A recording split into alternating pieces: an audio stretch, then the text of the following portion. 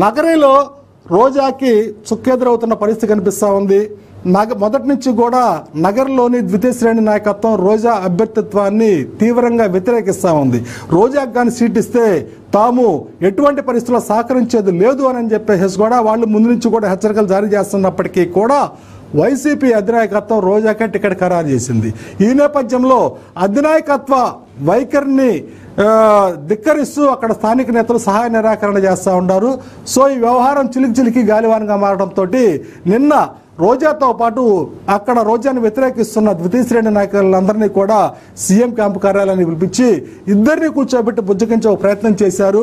అయితే ఈ క్రమంలో రోజా తనను వ్యతిరేకిస్తున్న నాయకుల్ని పలకరించినప్పటికీ కూడా వాళ్ళు రోజా మొహం చూడటానికి కూడా ఇష్టపడిన పరిస్థితి అయితే కనిపిస్తా ఉంది. ఈ సందర్భంగా ఈసారికి ఎట్లయినా సరే రోజాను గెలిపించాలి అని చెప్పేసి అక్కడ అధిష్టానం తరఫున పెద్దలు ఆ అసమ్మత నాయకులకి సర్ది చెప్పే ప్రయత్నం చేస్తుంటే వాళ్ళు చాలా కరాఖండ్గా చెప్పడం జరిగింది. మేము సహకరించినా కానీ రోజా గెలిచే పరిస్థితి లేదు. సో మేము సహకరించినందువల్ల ఉపయోగం ఏం లేదు. ఎటువంటి పరిస్థితుల్లో కూడా రోజాకి సహకరించేది లేదు అని చెప్పేసి అధిష్టాన పెద్దల వద్ద ఖరాఖండిగా చెప్పేసి వాళ్ళు అక్కడి నుంచి నిష్క్రమించిన పరిస్థితి చూస్తూ ఉంటే వైసీపీకి ఎంతటి తీవ్ర వ్యతిరేకత కనిపిస్తుందో అర్థమవుతుంది. వైసీపీ అభ్యర్థుల పట్ల కానీ లేదా వైసీపీ పార్టీ తీ- పార్టీ పట్ల కానీ సో వైసీపీ పెద్దలకి కూడా మేము సహకరించము అని చెప్పేసి ఆ పార్టీ ద్వితీయ శ్రేణి నాయకులే ఖరాఖండికి చెప్తున్నారంటే అక్కడ పరిస్థితి ఎలా ఉందో అర్థం చేసుకోవచ్చు.